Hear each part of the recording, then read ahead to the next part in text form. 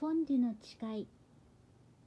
今から20年ほど前佐藤三平さんとスイスを二人きりで旅行したことがあった。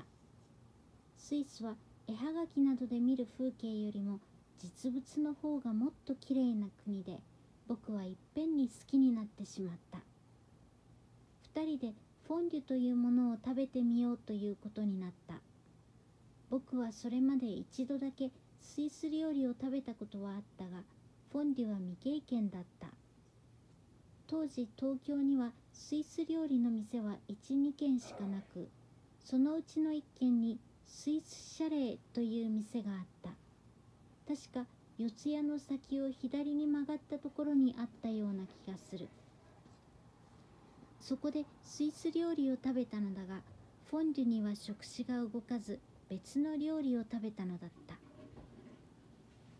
本場のスイスでフォンデュを食べようということになって三平さんと僕はガイドブックで調べて一軒の店に入った。もう20年以上も前のことなのでどんな店だったかほとんど覚えていない。確かスイスを東に左に曲がったところにあったような気がするという程度の記憶しかない。その店で2人は土鍋やアルコールランプや金串を操り見よう見まねでチーズフォンデュを食べたのだがところがこれがまずかった。2人の結論はチーズフォンデュというものは極めてまずいものであるということになった。翌日登山電車に乗ってユングフラウという山に登った。辺り一面雪景色の登山列車のな登山電車の中で庄司。もう二度とチーズフォンデュを食べるのはよそうな。はい。という会話が交わされたのだった。これが後世まで語り継がれることになったユングフラウ山上のいわゆる白銀の誓いである。ナチスのロンメル将軍をアフリカの砂漠に追い詰めたパットン将軍とブラッドリー少将の熱さの誓いと対比されて男の友情を物語るものとして人々の口から口へといまだに語り継がれている。どこで？あれから20年世相移り変わり人々の味覚もまた変わっていった。チーズバーガーピザなどでチーズは日常的な食品となった。某月某日僕は新宿の高層ビル群の一つ野村ビルの中にいた。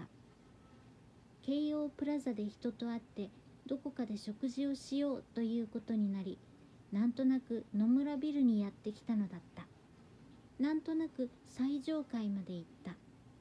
なんという運命の皮肉であろうか。野村ビルの最上階はスイス社霊であった。四谷からここに引っ越していたのだ。運命に逆らうことはできなかった。その場の成り行きでチーズフォンデュを食べることになった。条約というものは不変のものではない。白銀の誓いは相手方に何の事前通告もなくいきなり破棄されることことになった。スイス社霊は野村ビルの最上階の49階と50階をぶち抜いた作りになっている。すなわち本来あるべき49階の天井がなくそこのところが空間になっていて見上げると50階の天井が見える。すなわち天井が高い。チーズフォンデュ3000円。丸い土鍋の中でチーズがふつふつと煮えておりかごの中には2センチ角に切ったパン。このパンを柄の長い串で突き刺しチーズをたっぷり絡めて食べる。20年ぶりのフォンデュである。ところがこれがうまかった。三平さんには申し訳ないが20年も経てば人間の味覚も変化する。餅状にもっちりと溶けたチーズがパンの大小の気泡の一つ一つに潜り込みかつパンに湿り気を与えかつ温めかつチーズの香りを与えている。パンはパリッと乾いているのがおいしいがフレンチトーストの例を待つまでもなく湿り気を与えたパンもまた美味しい。いわゆるぐしゃパンぐっちょりパンの美味しさですね。その湿り気を与えるものが他ならぬ溶けたチーズであるわけだから単にパンにチーズをのせた味とはまた一味違った美味しさになる。フォンデュというのは本来生肉を油に突っ込んで唐揚げするブールギニオンのことだそうだ。作り方はこうだ。鍋に白ワインを入れて沸かしそこに薄く小さく切った2種類のチーズを入れる。エメンタールチーズとグリュイエルチーズだ。セメントでグリグリと覚えるとよい。木べらでよくかき回し最後最後にキルシュッシュブランデーでもよい。で溶いたコーンスターチ。ないしは片栗粉を入れて餅状になるまでよくかき混ぜる。もともとはスイスの兵隊が食べるものがない時にカバンの底にあったチーズのかけらを鉄かぶそで溶かして食べたものだそうで要するにチーズを溶かしてパンにつけて食べればよい。